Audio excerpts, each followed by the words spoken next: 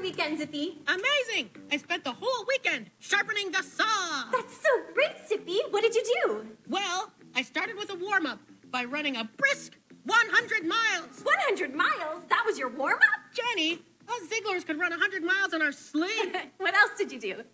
Well, I ate a delicious and healthy meal of oatmeal and zazzberries. What are zazzberries? They're like raspberries, but mm, zazzier. Oh, did you do anything else?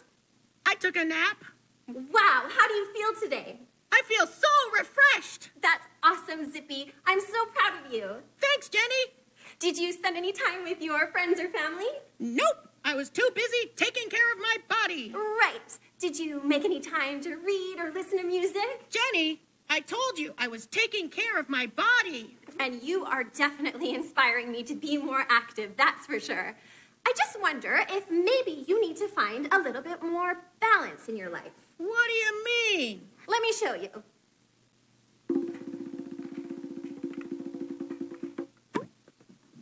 Whoa! I like that stool. This stool is perfectly balanced.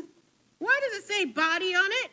That leg represents taking care of your body. Oh, like running and eating zazzberries and taking naps. That's right. And these three other legs are also equally important to making sure that this stool stays perfectly balanced. Oh, like spending time with my friends and family? That's right here on the heart leg.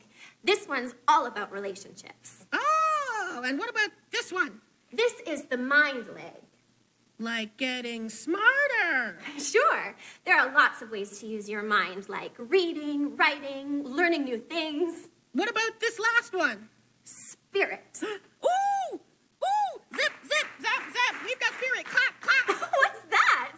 That's my school spirit cheer. Wow. Well, that's just not quite the spirit we're talking about with this one. Really? It's that part of us that's connected to finding real meaning in life and making a difference in the lives of others. Oh, I see. So? So, I need to forget about taking care of my body for a while and focus on my heart, mind, and spirit.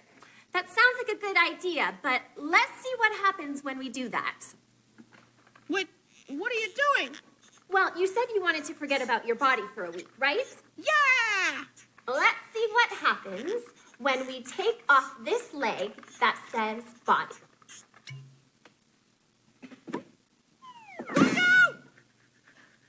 So you see, if any one of these legs is forgotten, the whole thing could topple over. Okay, I'm confused. If you spent all of your time sharpening your heart, your mind, and your spirit, but you aren't exercising, eating good food, or getting a good night's rest, what would happen? Well, I might topple over from exhaustion. Now you're getting it. Our challenge for this week is to sharpen the saw in all four areas. Yeah, body, mind, spirit. They all play a special part. Ooh, I like